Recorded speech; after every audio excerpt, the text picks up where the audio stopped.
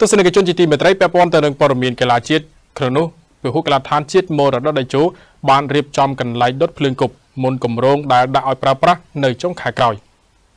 វិមានកីឡដ្ឋាននៃពហុកីឡដ្ឋានជាតិមរតកដេជោ បានរៀបចំហេដ្ឋារចនាសម្ព័ន្ធចុងក្រោយគឺការដំឡើងនៅកន្លែងដុតភ្លើងគប់ក្រោមការរៀបចំប្រព័ន្ធសុវត្ថិភាពខ្ពស់បំផុតសម្រាប់ត្រៀមពិធីបើកបិទព្រឹត្តិការណ៍ជាប្រវត្តិសាស្ត្រស៊ីហ្គេមនិងអាស៊ានប៉ារ៉ាហ្គេមឆ្នាំ2023នៅកម្ពុជានេះបើតាមការជួដំណឹងរបស់គណៈកម្មាធិការជាតិរៀបចំការប្រកួតកីឡាស៊ីហ្គេមលើកទី32ឆ្នាំ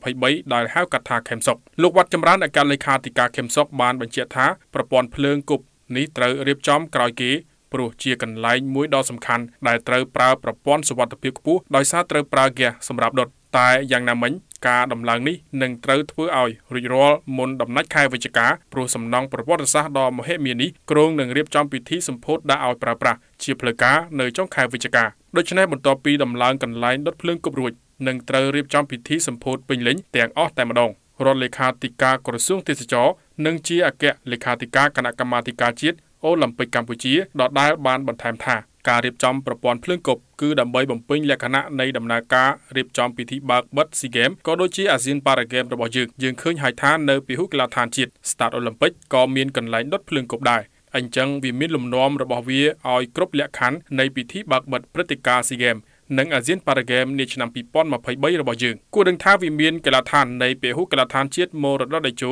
ត្រូវបានកម្ពុជាកំណត់ជាកន្លែងប្រារព្ធពិធីបើកនិងបិទការប្រកួតកីឡាស៊ីហ្គេមជាផ្លូវការនៅឆ្នាំ2023ចំពោះភ្លើងគប់ដែលត្រូវដង្ហែទៅដុតក្នុងពិធីបើកព្រឹត្តិការណ៍ជាប្រវត្តិសាស្ត្រនេះត្រូវបានថ្នាក់ដឹកនាំខេមសុកបានធ្វើការយកចិត្តទុកដាក់និងកិត្តគូយ៉ាងល្អិតល្អន់ដោយនឹងមានរៀបចំពិធីសុំភ្លើងអាទិទេពឬកម្ដៅព្រះអាទិត្យ នៅប្រាសាទអង្គរវត្តដែលគ្រងប្រារព្ធពិធីឡើងក្រោមព្រះរាជាធិបតីដ៏ខ្ពង់ខ្ពស់បំផុតរបស់មហាក្សត្រនៃព្រះជាណាចក្រកម្ពុជាពិធីសុំភ្លើងអាទិទេពនេះគ្រងរៀបចំនាខែកុម្ភៈឆ្នាំ2023បន្ទាប់មកកម្ពុជានឹងរៀបចំពិធីដង្ហែភ្លើងគប់នេះឆ្លងកាត់បណ្ដាប្រទេសទាំងអស់ក្នុងតំបន់អាស៊ីអាគ្នេយ៍ចាប់ពីខែមីនាឆ្នាំ